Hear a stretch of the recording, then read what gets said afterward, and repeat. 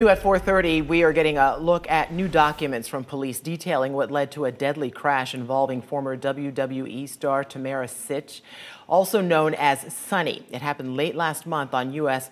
Highway 1 and Granada Boulevard in Ormond Beach. News 6's Lauren Cervantes joins us live now. And Lauren, what are police saying? Well, police say this is the intersection. It actually happened right about here on the other side of this median in this turn lane where this truck is actually right now, where Former WWE star Tamara Sytch crashed into a car, killing its 75 year old driver. Ormond Beach police say 49 year old Tamara Sytch, a former WWE wrestler, crashed into the back of a car, killing its 75 year old driver, Julian Lassiter. And according to the crash report, police suspect she was driving under the influence of alcohol, but say they are still waiting for the toxicology results to come back.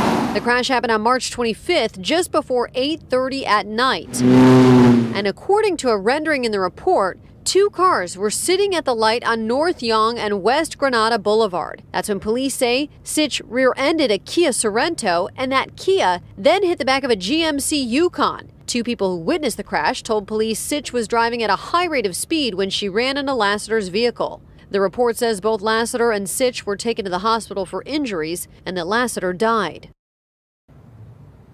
Police say Sytch could be facing criminal charges depending on the results of the toxicology and that they've requested an expedited time frame for that. For now, in Volusia County, I'm Lauren Cervantes getting results, News 6.